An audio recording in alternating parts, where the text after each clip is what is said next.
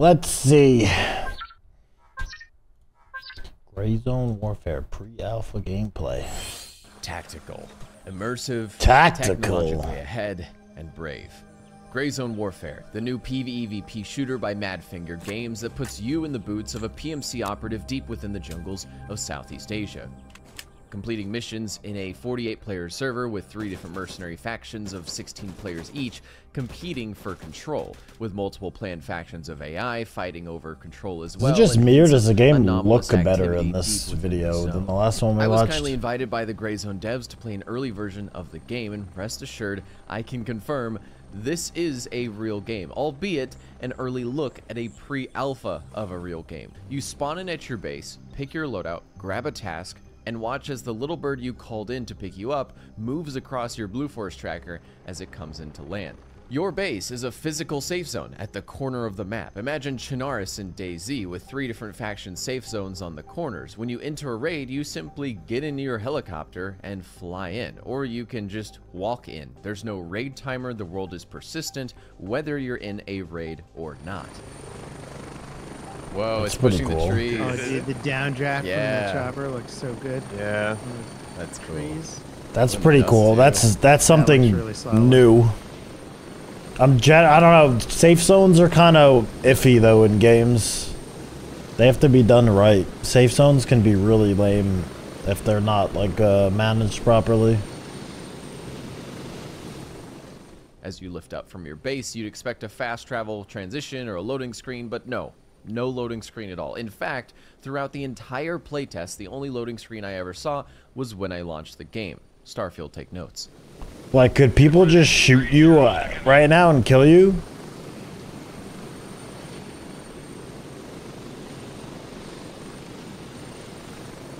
So, so what's That to was stop people from just like Pretty sitting well at the safe zone and killing You everyone? know, we reactions I like to hear. chopper, But The reactions like, I like to hear.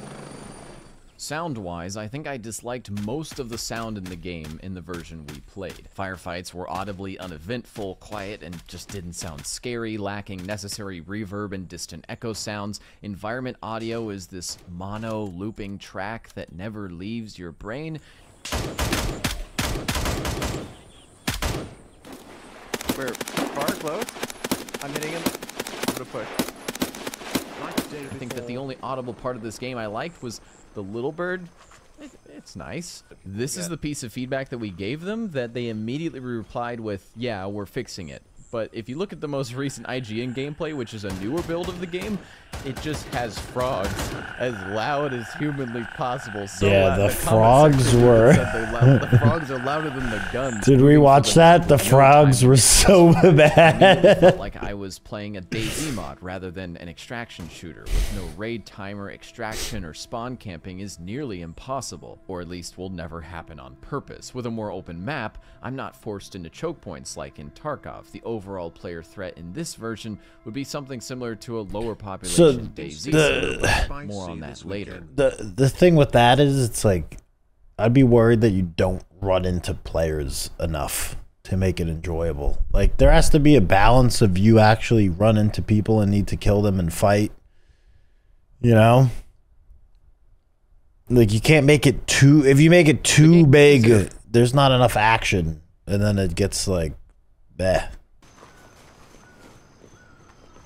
It's not behind it, guys. I mean, I think the lighting looks Oh, you're hit. You're hit. amazing. Yeah.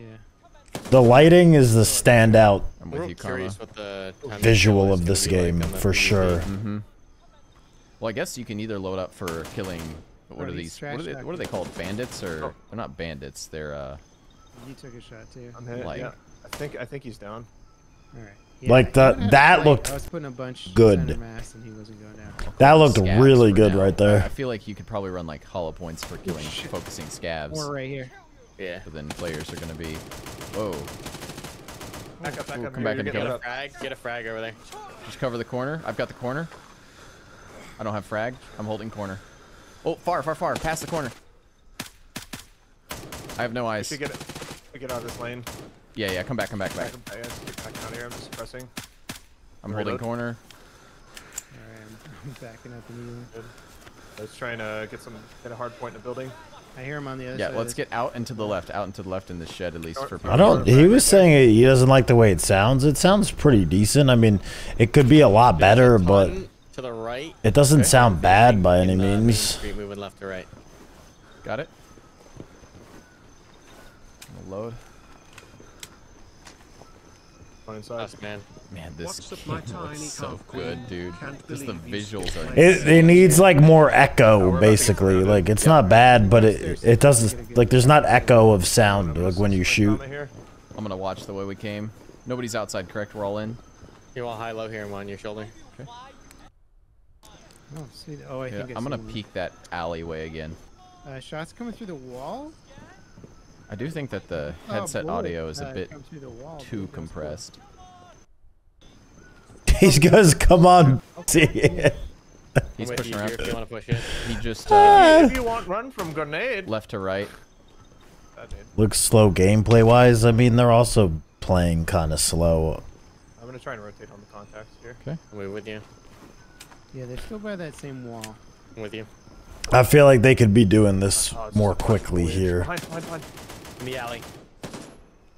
Yeah, they're crossing this too. Okay. Coming up with you. Check map here. So Loading. they they don't infinitely respawn as far as I understand, right? Probably That's not in the we have to same zone. server.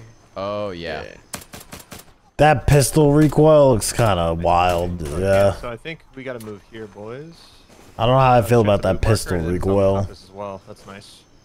Okay, I'm gonna really quickly load my mags here. I'm gonna check this corner up here. Just see if anybody's still. Yeah, I definitely think uh, loading animations need to be in because the old just like throwing rounds back into your mags is a bit weird for a game that doesn't have a time limit. Yeah. But, oh yeah, is he just instant loading mags? I'm sure they'll change Okay, that. checking you. Do really like the Blue Force Tracker style map. That's neat. I'm gonna use a uh, surf see if this helps. Inventory looks crap. I mean, that's Um, easy. That's yeah, just like injury. putting a different skin over the skill. UI. Like that's Uh, not. the kit will do it. We'll see. I I wouldn't be concerned on how the inventory looks as far as the UI. It's more about the functionality of it. Where's the baby? Like that's not. It's like the Dude, this this animation is long. Holy. That's just that's an easy thing to change, you know.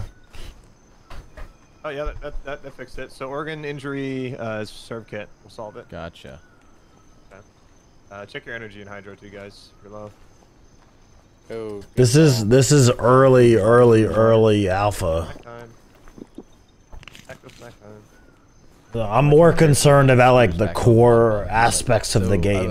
Uh, watch him screw back Stuff on. like He that does is- very like dainty. come Deliberately. Yeah. More than likely going to change. Yeah, twisting and his everything. fingertip twist is funny. I don't know why. Alright, so check your compass. We're trying to get to the waypoint. To get the first objective. Also, I don't even think it. I don't even think Alright, it. so check fingertips. Like Yeah. I don't know what's wrong with the inventory. I mean, like the the images look not that great, but I don't know. I'd even just be fine with staying like that. I wouldn't mind. The images look like shit, but honestly, it's like 23 months, brother. it's fine. It would even be fine just like that. His fingertip twist is funny. I don't know why. Alright, so check your compass. We're trying to get to the waypoint. To get the first objective. I think I hear somebody over here by me. That MRE animation is awesome. It is. It is so stupidly good. Get on level here. Yep, coming. You- did Uh, you go maybe through here on it the right? be a chick. Dude, the the foliage looks really f- good. Like this here looks really good. You- did you go maybe through Like, look at all that. here on It the could right? be a chicken. I don't know. Ooh. The chicken? That looks Yeah, sick. Make sounds. If you kill them, you can cut them up and craft them into fried chicken. I, I'm just mainly concerned with how the game is gonna make you like interact with players and like what's the incentive gonna be to fight other players? contacts in front. Oh, oh Because One in two, you took two hits. Back out, back out if you need. Yeah, I'm back and I'm back and they're right in the middle. Whoever's of the still road. holding, you took two hits. I'm coming in. I mean, killing AI can only stay entertaining for so long, right? Behind as well. Oh shit. Just a little bit. Reloading. He's Rotating. dead. He's dead. Contact front behind the truck. Wow, I hit him. There's another guy on the left. Well, yelling. that dude is not done. Left and left. When hit, you can bandage yourself with a very physical animation that spawns an entire toilet paper roll on your arm. And here I accidentally splinted myself, uh, tourniqueted myself, and then bandaged myself because I was clicking the wrong buttons and could not animation cancel. But when a buddy gets hit, you can also aid him. You can be downed in a sort of cardiac arrest state as well, not dead, similar to Arma 3 ACE's down state, where you and your friends can work on your medical issues to eventually have you Skip back up. Coma. gotta come over here. This is the uh, second building. Okay. So kind of What like the happens if you skip your quest, is you're coma? Looking for these certain buildings that were covered with graffiti. So if you kind of notice the same graffiti from this building and the other one, and then I'm also curious. So you enter you enter the map at the base and then you go to wherever you're going. So that means you have like a stash probably, right? You have some type of stash like what is the the loot trader cycle look like? Like are there traders? Do you have, are you going to be looting a lot of stuff or is that not super important? I'm I'm kind of curious about What is that. the update with the car situation? Hopefully Still waiting. It is right here on this table. Forever waiting, brother. Gotcha. But overall, even with the cool medical system, the cool guns, graphics, and environment, I just felt that without the threat of players, as there was no chance of PvP in this playtest, I couldn't get very immersed fighting the seemingly flat Facts. AI. It created some cool little moments, but it was surface level. Klean even said in a feedback session a very similar opinion. I was just gonna say, like, I think one thing that's gonna be crucial for this game's success is making the AI like feel like they're actually living in the world. Like, stalkers, yeah. So stalkers Okay, disagree. AI always sucks ass. You need PvP. Is a good example. of. Like they go on patrols, they go and sit at campfires, they Dad, eat, they talk to each other, they engage with the each other. They go and like go. It sounds cool. Like, okay, in in theory, having good AI would be awesome, but it no one ever has good AI. engage enemy squads and try and take specific locations, but also things like from Metal Gear Solid, where in Metal Gear Solid, like when you go knock out the generator, the guy goes and fucking looks at the generator and sees what's wrong. You go cut a light out, goes like, huh, what was that? That was weird. But I think looking at games like Stalker A-Life in terms of like the world interacting with itself, as well as games like Metal Gear Solid, where the AI are really intelligent in like the areas that they're at and how the how like the player engages with them is is going to be crucial to make this game interesting. If fighting the AI are such a large component Wait, did you just say PvP is what ruins every game? PvP is what makes people love games. Big disagree, dude. Big disagree. The only like AI games that really do well are like w- any game where enemies shoot back at you, the AI generally sucks. Like sure, wave defense type of games work, but as soon as you're talking about like fast dying uh like realistic shooters ai is never good because you just like randomly get killed by them. They either completely suck or they're way too good and it's just like random number generator if the ai shoots you or not. Like it's not it's not a fun mechanic to it of the main game's loop, to hunt this is way too Cougar? dry. Let's get a little speculative here. you get what i'm saying like it, it in a game where you can die in like one bullet right the ai is kind of like oh he has like this level of accuracy and he shoots you like one out of three bullets is gonna hit you and kill you and sometimes you die to him and sometimes you don't and there's not really anything you can do about it Like, it's just i One of don't the most interesting parts of the game, in my opinion, is when you die. This is arguably the hardest part of the gameplay loop for the developers to design and figure out, but it's easily the most important. When you die and escape from Tarkov, you lose all your gear and you're dead. No coming back. Sounds stupid to say, but let's compare that to Battlefield. When you die in Battlefield, you don't really die. You are just given the choice of going back into the fight to any friendly captured objective on the map, respawning with full health and ammo. When you die in DayZ, you lose all your gear, but you are randomly respawned somewhere in the same instance. You didn't really die, you're still in the match, you just lost your character and their gear. Your body remains out there, and if you can get back to it in time, or if your friends can cover it for you, you'll be able to reacquire your entire lost progression. This is where Grayzone comes in. When you die, you respawn instantly back at base. Same server, unless there's a system to negate this ability. If you wanted to go back to your body and rejoin your buddies, it'd take you a minute to build a basic fighting kit in your inventory, maybe a four minute helicopter ride if it's like halfway across the map, and a five minute walk tops, and boom, Okay, that's actually kind of concerning. Because playing in a in a group then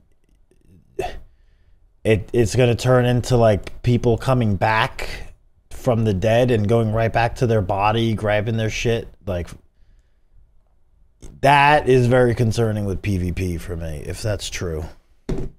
Um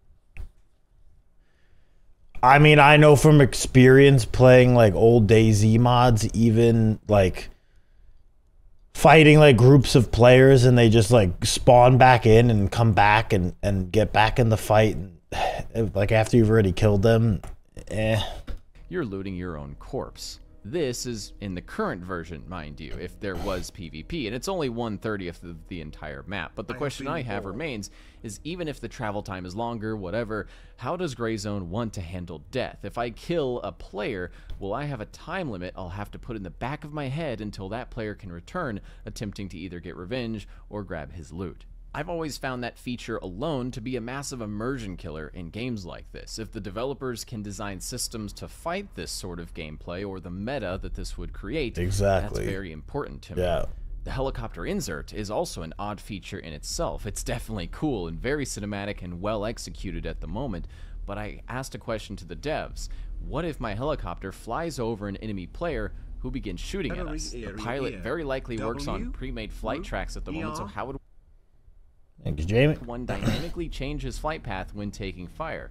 What if the fire was right before the LZ? What if I'd rather commit to the landing and engage the player? These small questions that started popping up began to make my head wander on all the possibilities of how players would meta this game out. I began asking questions about PvP and how I felt the description of the PvP in the game was not very clear at the moment, and I think the devs are also still trying to work out this chemistry equation just like I began to. People are saying that this is a Tarkov game, even Tarkov Killer, but it's very much not. It's a DayZ Ghost Recon game. It's a persistent world that continues when you die. You can rejoin the world after you die. It has villages with localized enemies to create dynamic PvE scenarios with potential PvP pressures. And I'll remind you again that this is a 16 v16 v16 PvE shooter. That means three teams of, let's say, four squads of four, for example, all doing their own quests or working together to accomplish maybe something like live events, that's speculation, in, in the world. I find that player count to be very interesting. This isn't like a squad server where there's 50v50 and it's very clear cut how the game is played. There's no loot between characters. There's no, uh, there's not really even a reward when you die. So the main objective of squad is to just Wait, I'm confused. Does that mean there's going to be people that I can't kill if I want to? If it's 16 v 16 v 16 and I want to play solo, I have 15 other people that I can't shoot. To beat the enemy team so that you win on the scoreboard. But imagine the solo queuing experience of 48 players split into three different teams and how that would feel to have to work together with 15 other players on your team, potentially on a quest that only you have. I feel like what this is going to lead up to, if it ends up anything like the quest system in Escape from Tarkov, is where quests are going to be the primary way, the primary method that you will progress in the game. And by doing these quests, you'll likely end up on different quests than what your team like shooting everything. It's not even that. It's one like I want to play with my friends. I don't want to play with some random people like off doing whatever on the map. Like you know, like I don't want to be forced to be friendly with people. Nobody wants to do that. Like you know, you don't want to be forced to do anything. There should be like a, an incentive to do it, maybe, or like some something that you gain from doing it. But you don't want to be forced to play with random people. That also just cuts down. Basically, there's 32 other people on a giant map that you can fight. Like that, like cuts just. Mm. I don't know, I don't- So there's a lot of mm, problems here because that I'm means that a lot I'm of players are going to be focusing on their own quests and not working together on major objectives, unless we have like, Unless unless you can go rogue and kill people, but that doesn't make sense with the concept of a persistent base. Seems like you're gonna spawn at your faction base. So I don't see how you'd be able to like spawn in at your base and kill your friendlies. world, something of that sort, that can create large areas to kind of do a king of the hill battle over, something similar to Arma 3. Also, Karmakut brought up the very important idea of year, hey, brother. if this is a game where you." loot is very important, what is stopping my teammate from team killing me and taking my stuff? What if I die and a random offers to take my stuff Three back to base, with so I want to allow him to be able to take my stuff off my body? This is the best designed, most high fidelity. Well, yeah. Also, exactly. What what if you just get team killed by people? Like, how, how does that work? And, and world that I've ever seen for like a PvP possible game, for a game that possibly has PvP in it. I'm really curious. There's so many things that they could do to make PvP interesting in this game. Imagine you're in the middle of the night in the jungle observing a village before you push in, and because there's no mission raid timer, you can spend as long as you want scouting car? out the location before you go in for your quest. And you hear some distant gunshots, maybe Okay, wait. So how do I communicate? Like, just general questions. How do you communicate with the fifteen other people on your faction? Like, how do you coordinate with them at all? How do you even know it's them? Can you team kill them? Like, like how does that all work?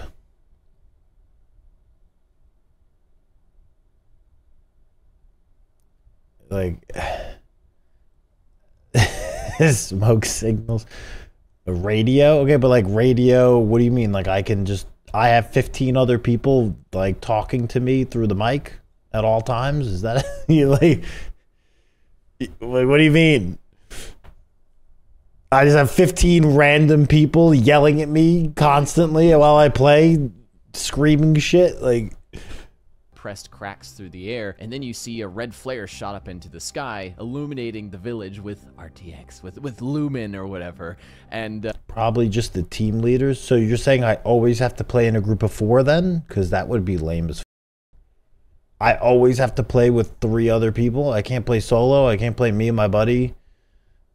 I get paired with random ass dudes. Like like ha- that doesn't make any sense if that's you know what i'm saying uh, you get this very, very nice cinematic flare effect. And then maybe the enemy forces, the AI, are calling in a reinforcement, maybe via a helicopter or something, and they come flying in and land on the side of the town and run in. And you're able to spend as much time as you want just observing this fight. You know that another player is in that village, but unlike Tarkov, there's no choke points, there's no raid timer that's going to make it predictable on how you may find them.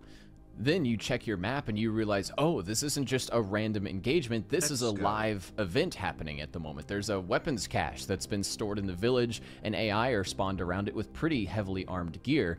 And then you notice another helicopter landing in the distance to the north, thinking, oh shit, that's possibly uh, more reinforcements for this player.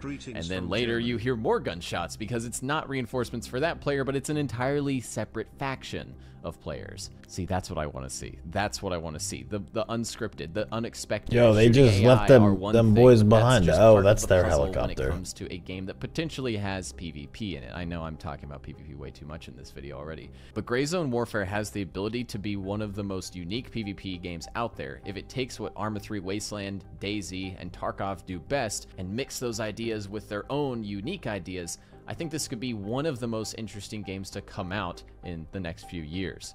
But until then, I could speculate for hours, so I don't want to waste any more of your time. Thank you for watching, and if you want to see more on Gray Zone Warfare, I'm very sure I can get more coverage in the future. So i feel like i literally just have more questions questions now than i did before I've I have way more questions now about this game than I did How was the previously. I like, I yeah, I don't I don't know. I have way more questions than answer. That's good. Uh, it's more like I have concerns, not really questions. I have concerns. I, I I, I don't know. It, it's having like three factions of 16 people like I don't Does that mean that I always have to like okay, so is there like a server? Like do I just join a random server and there's like random 16 16 16 people on that server and I I use the same gear over and over? And then I can play on like a different persistent server with the same gear.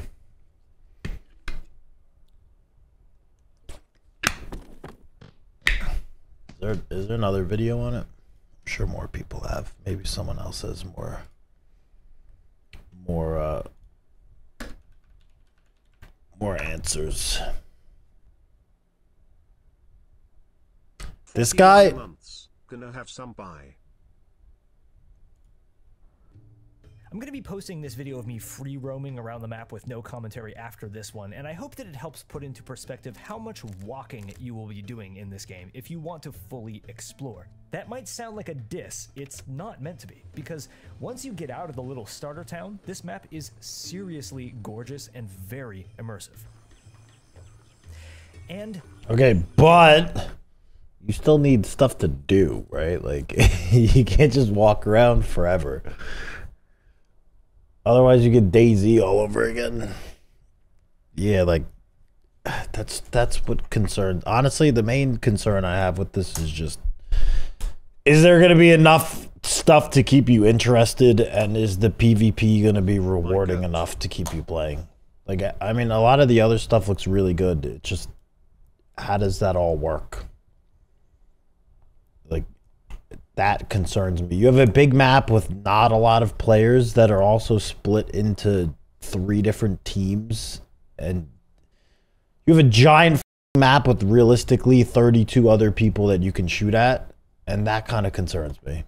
Had the devs literally never taken us to the quest locations, it would have taken me hours upon hours to find these buildings, which I think is sort of the point. But my feedback was this personally, I think that they should, one, either make the locations a bit clearer in game, or two, give you a visual hint in the quest description to help you find these spots. Giving people a reason to actually explore is always better than simply forcing them. I mean, isn't it all just isn't it all just going to get itself, though, it was all that's just gonna get posted on a wiki anyway at some point, right? Like Tarkov quests are actually really f- difficult to find if you don't have the wiki to look at. But infinitely complex. yeah, it's just all gonna get posted anyway. So I guess you may as well make it more entire game that straightforward. wasn't fully explorable. The PvP gameplay was a shot of adrenaline that I really didn't see coming. It was a very familiar feeling. Is that you? Where? Next to the wall with the long range scope. Yes, that's me. Don't shoot. Bandaging right now? No, no, no, that's not me. Shoot, shoot, shoot. It was extremely chaotic, very fast paced, not physically, but in everyone's 15 tone and decision making. We only got to do that one little instance. Thanks, and I instantly wish that we had more chances. Okay, so again, Yeah. thinking about this from the perspective of three factions fighting uh one are you are you going to be fighting over like a, a specific building and then two how the f- do you know who's on your team and how do you coordinate with 15 random people? Looks familiar.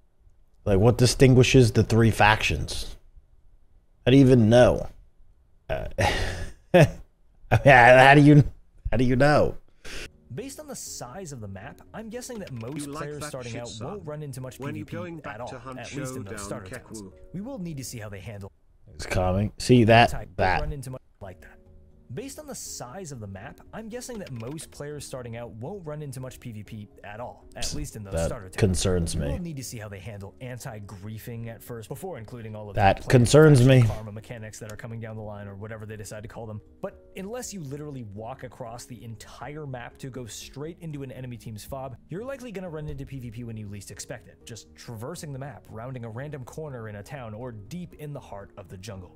At least from my experience, because of the pace of the game, because of the complexity of the map, actually hunting down PvP will require a lot of patience and will be quite difficult to do, I think. And of course, remember, if Yes. fighting other players isn't your thing, the PvP disabled servers are planned to be available from the get-go. rip rip Love you, Tony. Rip. Rip. Rip. With all this into consideration, what do I think of PvP disabled servers. Rip. got of it? If I could put it into one word, it'd be this promising. As I mentioned before, most of the issues that we creators raised to the devs during this test were That's rip, bro. nitpicks. We need this keybind. We need to be able to lean like this. That's rip, bro. you- One, one immediately off the bat, you are splitting your player base into two separate experiences. People aren't all focusing on the same gameplay. Bad idea, in my opinion. Terrible. Also, just I always say PVE gets boring. Like people will play it and then they'll move on to something else. If you want people to really engage in your game, the, the thing that's going to keep them around is good PvP. People can only loot and shoot bots for so long before it gets boring. The goat puck. It it needs good PvP and people need to all be playing the same experience. to be toggleable, the food drains too fast, the reticle is too dark, that kind of thing. As I said before, the core of the game was Like I said, you could you could play a PvE game with with not a lot of focus and play through the missions and whatever, and then you'll probably be like sick. I finished the game and and not play it for hours and hours and hours. If you want people to play your game for hours and hours and hours and hours and hours, you need good player interaction. You need PvP. You need things that make players run into each other and interact and give them good, unique, unpredictable experiences. All the issues that I and other creators had were with aspects of the game that It's just- you do. in the dev cycle. Polish things like sounds and UI elements, keybinds, and of course performance, which the devs have stated is their primary At the concern end of the going day, the forward. day's got The to thing is, end. those above ground Thanks, Alchemech. Thanks, guns, T-Vals. sounds, ambient Okay, Helldivers doesn't have PvP. It, Helldivers is not a tactical first-person shooter. It's not an online tactical first-person shooter. It's not. It's a completely different genre of a game. Right? Like the enemies, as far as I even know in that, don't even like shoot back at you, right? audio, UI elements, etc.